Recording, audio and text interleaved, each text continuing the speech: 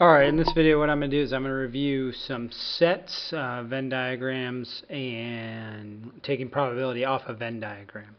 Um, so, uh, let's get going. Okay, so we have the sets P, Q, and R, okie dokie, are subsets of U. Okay, they're defined as follows. Positive, U is positive integers less than 13. Okay, well what I like to do is just, you know, number these. So that's going to be, you know, 7, 8, 9, 10, 11, and 12. Okay. I can't make brackets worth anything.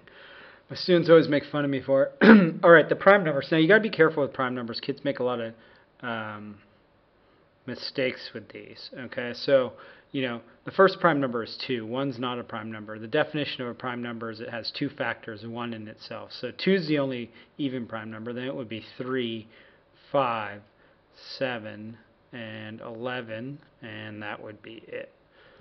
Okay, the factors of 18. Well, if you look at factors, if you take the number 18, the factors are 1 times 18, 2 times 9, and 3 times 6. Well, which ones of these fit below you know, 13. Well, it's going to be 1, 2, 3, 6, and 9. So this one's going to be 1, 2, 3, 6, and 9. Okay, so that's those are factors. And then multiples is just skip counting. So multiples would be 3, 6, 9, and 12. Okay. Ooh, those are just ugly. Whatever. Anyway, um, told you they were horrible. Okay, so list the elements of all. Well, we just did P. I just did P. I just did Q. I just did R. Now, they want to know if there's an intersection between P. This little term here means intersection. Okay? So that means it has to be in both of them. Well, in this case, it has to be in all three. So there are any that are in P, Q, and R. Well, okay, 2. Is that in all of them? No. 3. Ooh, I see a 3. It's in all three of them. Okay, any more? Um, 5, no, 7, no, 9, uh, no. Okay, so the answer here would be, the intersection would be 3.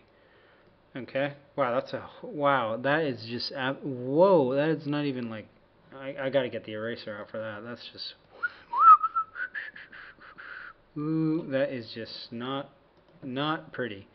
I know you're supposed to be like, ooh, Okay. Ooh, that was a good one. Looks like a fade. Looks like Jay Leno. Okay. Um, now draw a diagram showing the relationship between these and put the in the appropriate places. Okay, no problem.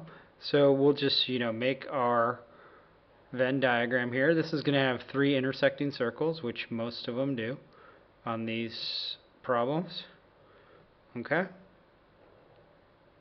And so we'll just do P, we'll do Q, We'll do R. Now U is right here.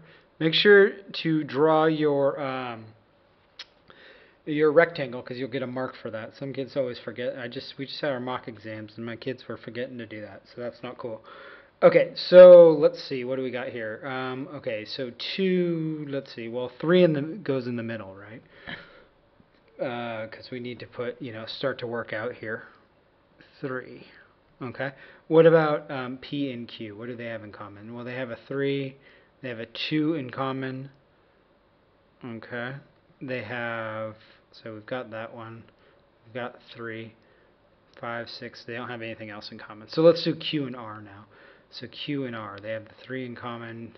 They have 6 and 9 right there. 6 and 9. Okay, so that's going to be 6 and 9 right there. You don't even need to put commas. Okay, and then P and R. Well, P and R, let's see, what do they have in common? They have the 3, no 6, no, they got nothing. Okay, so we're, we're good to go there. Okay, so let's see which ones we haven't used in P. So we've used the 2 and the 3, so this is going to be um, 5, 7, and 11. What's left in Q? Um, 1, and we've used the 2 we've used the 3 and the 6 and the 9 so we're good there and what do we got here 12 okay so the only thing left we have to look at here is which numbers haven't we used well we've used the 1 we've used the 2 we've used the 3 and we used the 4 no Five, yes. Six, yes. Seven, yes. Eight, no. So that would go right there. Nine, yes. Ten. Have we used a ten? No. Okay, eleven and twelve. So we're good. Okay, so you know, basically a lot of kids always forget to put the, the part that's on the outside. Okay, now it says write the elements of the sets of P uh, of U. Okay, so yeah, this is right. Okay, so from the Venn diagram lists the elements of the union of P and the intersection of Q and R. Okay, so union of P, which is here, and the intersection of Q and R, which is right here. So we're going to look at this whole thing right here and the intersection right here. So they want the union of that, so we have to put everything. Okay, so we can do that. Okay, so we will do, um, you know, 5, 7, 11, well, technically I should put these in order, 2, 3, 6, 9. That one, okay, and then like, not P union R. P union R is is this right here. They're saying not that, so it's going to be everything out there. So it's going to be, you know, 1, it's going to be 4, 8, and 10. Okay?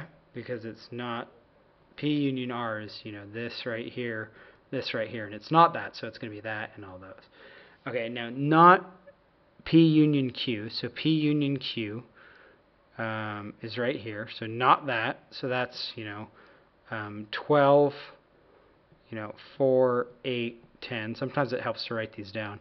And then not R, which is everything that's not R. Well, that's what, 5, um, 7, 11, 2, 1, 4, 8, 10.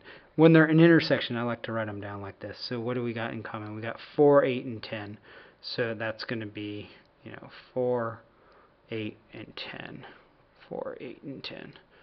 So there we go. Those can get a little tricky, um, you know. Um, but you know, just if you if you understand what this means, this means not. This means union, so you put them all together. This means intersection, so you look for what has the same. Okay, so let's move on to the next part.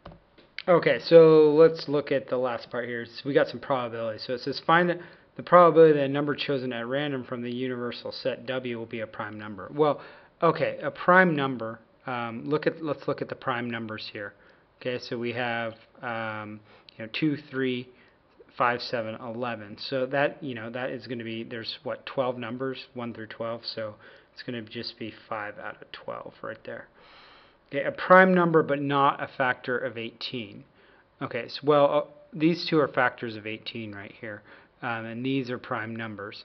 So this is just going to be 1, 2, 3. So this is going to be 3 out of 12 and then a factor of 18 or a multiple of 3, um, but not a prime number. Okay, so let's look at that. So, you know, here's the factors of 18, here's the multiples of 3, but this one's a prime number because it's all in those. So it's going to be 6, 9, and 12 right there. So they want probability, so that's just going to be 3 out of 12 a prime number given that is it is a factor of 18. So they just want us to look at this right here, the factors of 18, okay, and a prime number, okay, so which ones are prime? 2 and 3, so that's 2, how many are there?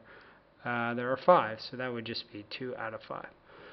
So anyway, um, that's that's a pretty good problem. There's a lot going on there. There's conditional probability, there's simple probability, um, there's, you know, listing the elements, which involves some shading. Um, and what else do we do? We, you know, know know your prime numbers, know your factors, what a factor is, multiple. The only other thing I can think of is square numbers. Um, you know, they sometimes use these, which would be 1, uh, 4, like 1 squared is 1, 2 squared is 4, 3 squared is 9, 16, 25, etc. And if you know those, if you know this definition, multiples, factors, prime numbers, it's no one allowed there, uh, you should be able to good to go on any type of these problems. Okay, so I'll leave you with that. I hope this helped out. Take it easy.